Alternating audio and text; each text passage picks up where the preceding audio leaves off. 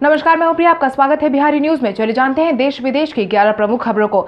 इस बार समय पर ही आएगा मानसून। कोविड 19 के माहौल के बीच भले ही आम नागरिक अस्त व्यस्त नज़र आ रहे हैं, मगर पर्यावरण खुलकर सांस ले रहा है और यही कारण है कि इस बार का मानसून समय पर पहुँचने वाला है। मौसम विभाग की तरफ़ से जारी किए गए जानकारी के अनुसार दक्षिण पश्चिमी मानसून ने गोवा और दक्षिण एवं तृतीय महाराष्ट्र के हिस्सों में दस्तक दे दी है और इसके अगले दो तीन दिनों में इसकी ओर बढ़ने के आसार और ज़्यादा बढ़ गए हैं। इतना ही नहीं, मौसम विभाग की रिपोर्ट के अनुसार पिछले अड़तालीस घंटे में महाराष्ट्र के कुछ हिस्से में बारिश होने का पूर्वानुमान जताया गया था। वहीं मौसम विभाग ने सप्ताह के अंत में झारखंड, बिहार में भी मानसून के शुरू होने की बात कही है। वहीं बीते दिन मानसून की वजह से मध्य महाराष्ट्र, मराठवाड़ा, कर्नाटक, रायलसीमा आंध्र प्रदेश होते हुए ओडिशा और छत्तीसगढ़ की तरफ़ दक्षिणी हिस्से में बादल छा गए हैं।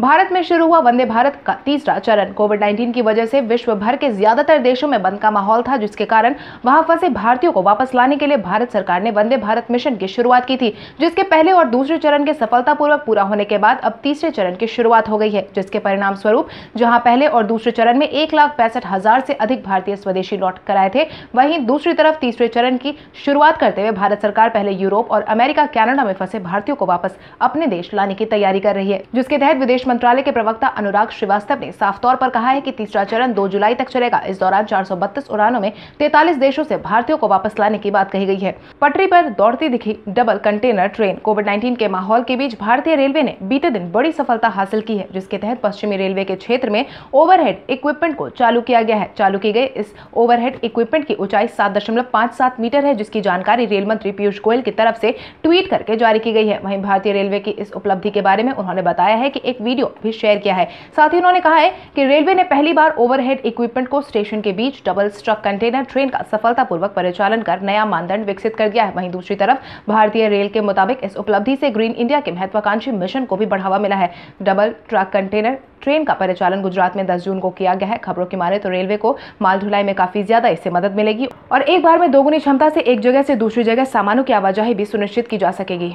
भारत ने ब्रिटेन से विजय माल्या को शरण देने के मुद्दे पर विचार विमर्श करने की दी सलाह। भारत से भागे व्यापारी विजय माल्या को लेकर भारत ने ब्रिटेन सरकार को भी सचेत कर दिया है, जिसके तहत भारत सरकार ने ब्रिटेन सरकार से आगाह किया है कि माल्या के शरण के अनुरोध पर विचार नहीं किया जाए। नई दिल्ली की तरफ़ से कहा गया है कि देश में माल्या के कारण बहुत ज़्यादा परेशानी उत्पन्न हुई है, लेकिन अगर वह शरण देने का अनुरोध करता है तो उसे स्वीकार नहीं किया जाना चाहिए। विदेश मंत्रालय के प्रवक्ता अनुराग श्रीवास्तव ने कहा है कि हमने ब्रिटेन से अनुरोध किया है कि यदि विजय माल्या की ओर से अनुरोध किया जाता है तो उसकी शरण पर विचार न करे क्योंकि भारत में उसकी वजह से बहुत ज़्यादा परेशानी हुई है। वहीं भारत माल्या के जल्द से जल्द प्रत्यर्पण के लिए लगातार यूके के संपर्क में है। आपको बता दें, विजय माल्या ने अपने प्रत्यर्पण से संबंधित याचिका ब्रिटेन के उच्चतम न्यायालय में दायर की है, जिसमें कोर्ट ने खारिज कर दिया था। वहीं ब्रिटेन के गृह सचिव का यह कहना है कि वह जितनी जल्दी प्रत्यर्पण की प्रक्रिया को आगे बढ़ाती है, उसे जल्दी काम करना चाहिए।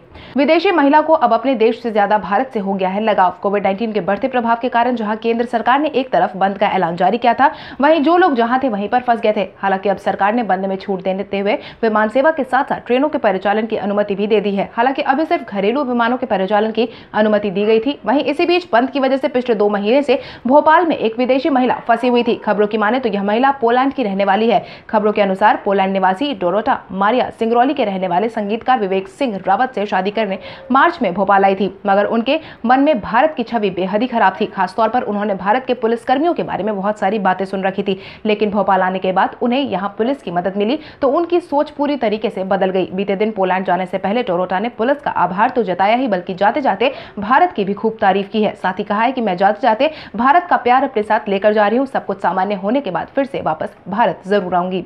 कोविड नाइन्टीन से ठीक हुए मरीजों के लिए महिला ने रात भर चलाया ऑटो। यह वाक्य मणिपुर का है। मणिपुर की एक महिला ऑटो ड्राइवर ने बीते दिन रिकवरी महिला को उसके घर तक पहुँचाने के लिए एक सौ चौवालीस किलोमीटर का सफ़र ऑटो में ही तय किया।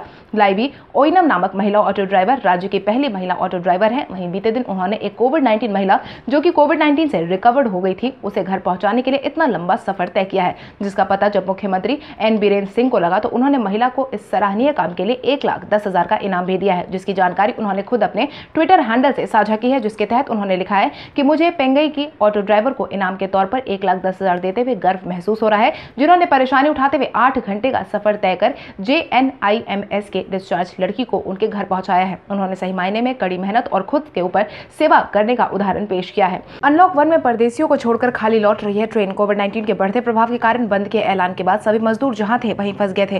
जिसके बाद अनलॉक वन लागू होने के बाद फंसे मजदूरों को श्रमिक ट्रेन के अलावा दूसरे माध्यम से भी उनके घर भेजा जाना शुरू कर दिया गया था। हालाँकि लोगों को उनके गंतव्य तक पहुँचाने के लिए भारी संख्या में ट्रेन चलाई जा रही थी, मगर वापसी में कई ट्रेन खाली लौट रही थी। यह नज़ारा देखने को मिला है। बीते दिन मुंबई, दिल्ली, अहमदाबाद, सूरत समेत अन्य औद्योगिकी व्यावसायिक स्टेशनों से उत्तर प्रदेश, बिहार, झारखंड जाने वाली ट्रेन में, जहाँ पर उत्तर प्रदेश, बिहार, झारखंड जाने वाली ट्रेन जाते समय तो भारी संख्या में दिखाई दी थी, मगर वापसी में ट्रेन खाली देखी गई है। इसी बीच गोरखधाम एक्सप्रेस की बात करें तो सेकंड एसी में पूरे सप्ताह 500 से 600 से अधिक सीट खाली देखने को मिली थी। इसी तरह कुशीनगर में मुंबई जाने वाली स्पेशल ट्रेन में 300 से ज़्यादा खाली सीटें देखने को मिली थी। गोरखपुर, सूरत, हावड़ा सूरत एक्सप्रेस में भी 200 से 250 से अधिक सीट खाली देखने को मिली थी। इस बात का साफ़ तौर पर अंदाज़ा लगाया जा सकता है कि मजदूरों का पलायन जारी है, जबकि उद्योग व व्यापार को पटरी पर लाने के लिए राज्य सरकार कई अहम पहल कर सकती है।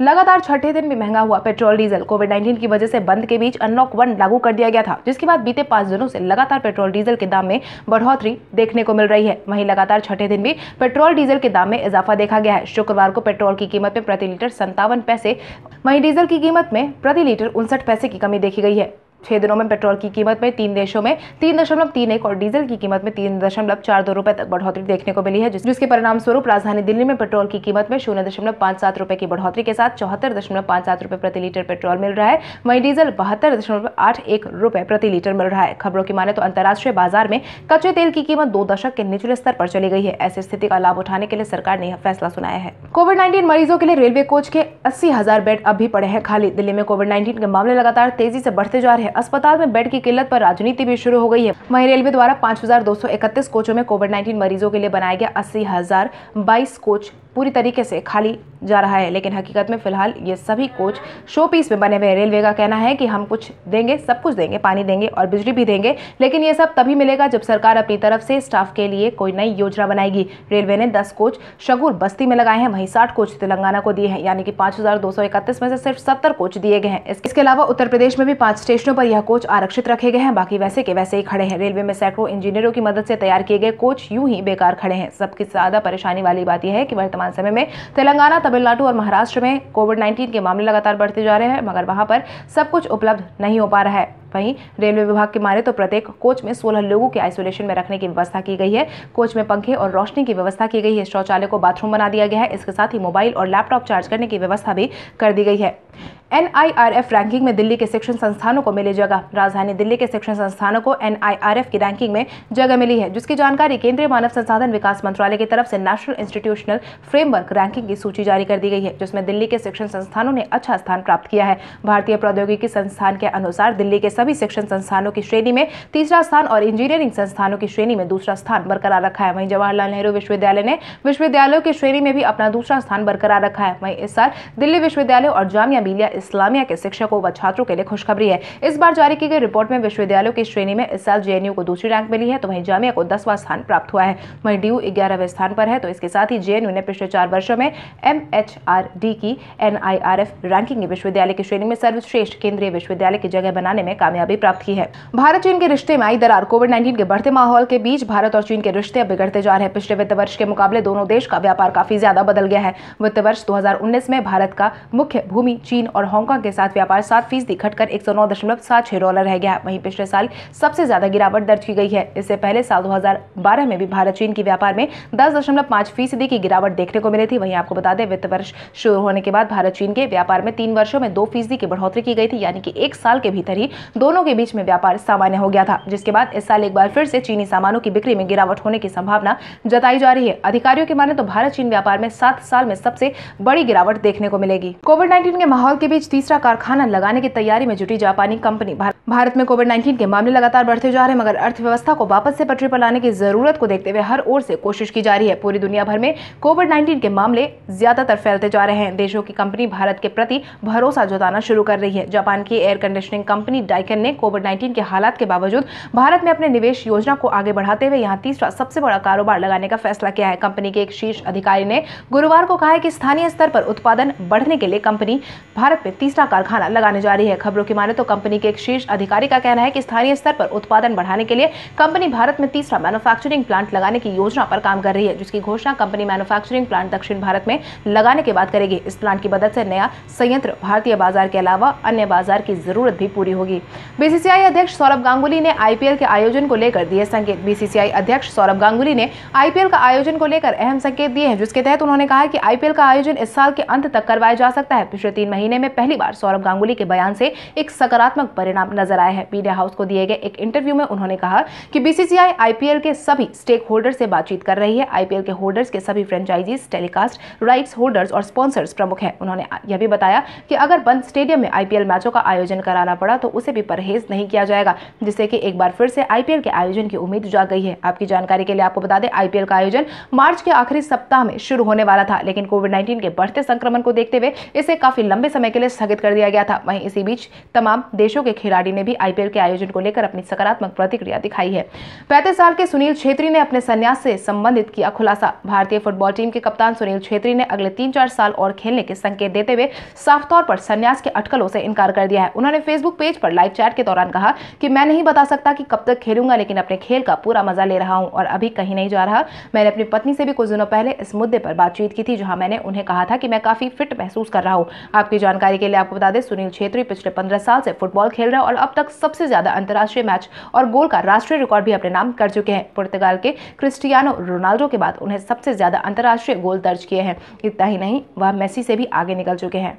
साहो के डायरेक्टर सुजीत की हुई सगाई। साहो फ़िल्म के डायरेक्टर सुजीत की सगाई हो गई है, जिसकी तस्वीर सोशल मीडिया पर काफ़ी तेज़ी से ट्रेंड कर रही है। उन्होंने डेंटिस्ट प्रवालिका से 10 जून को हैदराबाद में सगाई की है। इस मौके पर कोविड 19 की वजह से सिर्फ़ करीबी लोग मौजूद दिखाई दिए हैं। हालाँकि सगाई की चर्चा में आने के बाद लगातार सुजीत और प्रवालिका सुर्खियों में बने हुए हैं। आपको बता दें, दोनों ने अपनी सगाई पारंपरिक परिधान के साथ की है। वहीं सोशल मीडिया पर तेज़ी से फैल रही तस्वीरों में सुजीत सफ़ेद रंग की शेरवानी पहने हुए हैं तो वहीं प्रवालिका हरे और जामुनी रंग की साड़ी में दिखाई दे रही है। वहीं सगाई की फ़ोटो से मीडिया के दौरान उन्होंने साफ़ कहा है कि केंद्र सरकार की तरफ़ से जारी किए गए गाइडलाइन के तहत ही इस सगाई का आयोजन करवाया गया था।